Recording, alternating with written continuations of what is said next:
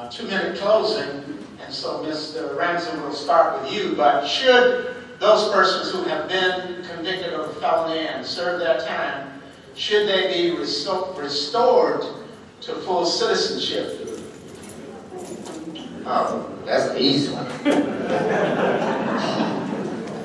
Definitely. I mean, if you have went, if, I mean, some people have some mis, you know, fortunes in life. And a lot of criminals are not bad people by a long shot. And everybody deserves a second chance.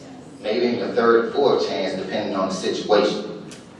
So definitely, uh, once a felon or anybody convicted of a felony have done their time, paid their debt to society, have come out and have shown and proved that they could be implemented back into society without posing a threat to anyone's safety, then of course they should be re-implemented. They should be able to get any job that they can because a lot of those guys are smart.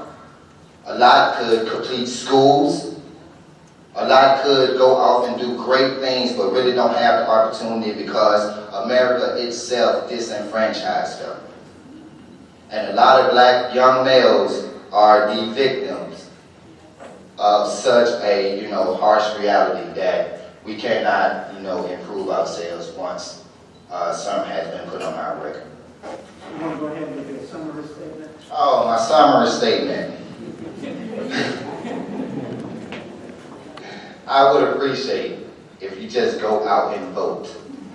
No matter if it's for me, no matter if it's for Councilman Vickers, matter if it's for Mayor Rice, Mayor Gayle. Just be a part of the process. Because we need more community involvement. That is one thing that we need. And I think we should spearhead that. And I think that's to be a focus in our community, and that's one thing I will really focus on is being known, being seen in the community, being help the mayor and the to start drug awareness programs in our um, different districts, and to try to look to Valdosta and gain some economic growth. We gotta have it. It should not, we should not have the, one of the poorest cities in Georgia. The house income should not be seventeen thousand dollars, we're better than that. Uh, the unemployment rate, Mayor Gayle said people are rushing to Valdosta. To improve that, they say we've got to bring jobs to Valdosta, higher paying jobs. Why we can't pay the people that are already in Valdosta? That's what I wish to do, I wish to the mayor and the councilman to come up with some type of solution in order to make that happen for Valdosta. Please vote for Mayor Enrico Ransom. All right.